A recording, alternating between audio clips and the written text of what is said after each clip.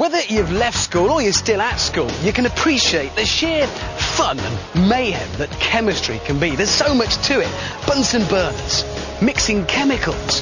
Very nice. Now, you may have been allowed to mix very small amounts of lithium with water. You may, if with a responsible adult, have mixed H2O with sodium. And you may, under very strict scientific control, have witnessed potassium mixed with water.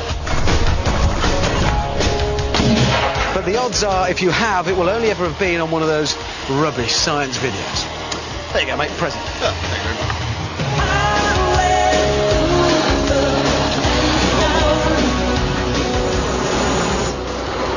These next two are the dog's nuts of the periodic table. They are, if you like, the king and queen of alkali metals. Mix these babies with water, stand well back, and watch the mayhem. And that's just what we're going to do. Mr. Tickle, bring on the rubidium.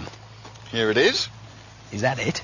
Well, it might not look like much, Richard, but it's a highly reactive metal. It's sealed in this glass tube under argon atmosphere conditions, just for safety. Right, so what's going to happen when you drop that in the water? Well, imagine, if you will, letting off a hand grenade in a bathtub. Righto, I'm off. Have that. Okay. Good luck. Okay, Tickle. Drop the rubidium in the water.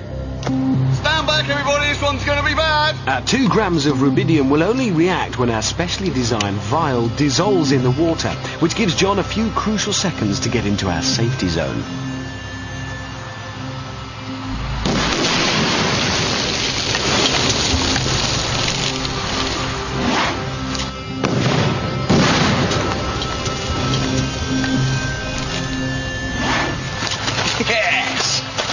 That is more like it. Only on Brainiac do you get that kind of science. But I believe we can go one better. There is one more alkali metal we can legally use. Yes, Richard, cesium, the emperor of alkali metals, particularly nasty, could go off at any time.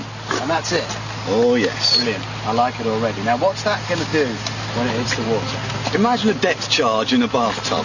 Fair enough, mate. I'll leave you to it. Good luck. Thank you. Okay, Jon. Go for it. Warning, warning, warning, extreme danger, clear the area.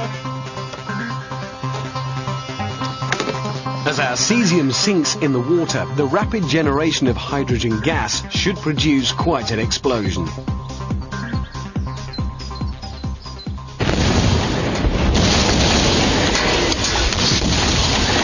And it does.